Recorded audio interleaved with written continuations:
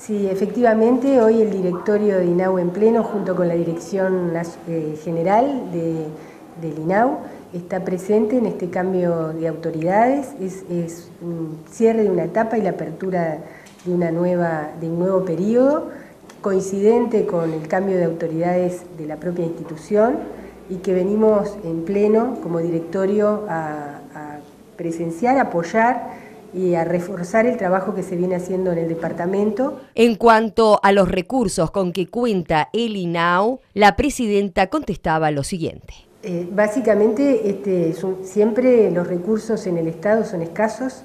Eh, en este departamento particularmente se ha avanzado a, partir de estrategias de trabajo que han permitido aumentar la cobertura hay elementos bastante contundentes en torno a lo que es el, último periodo, en torno a haber efectivizado una mayor este, cobertura de situaciones de vulnerabilidad, pero siempre hay elementos que es necesario reafirmar y, reforzar.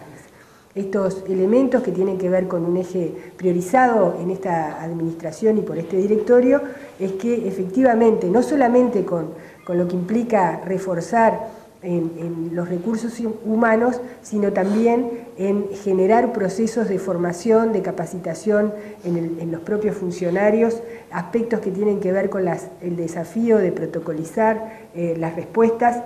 Es decir, hay énfasis este, que, necesariamente son necesarios para este periodo.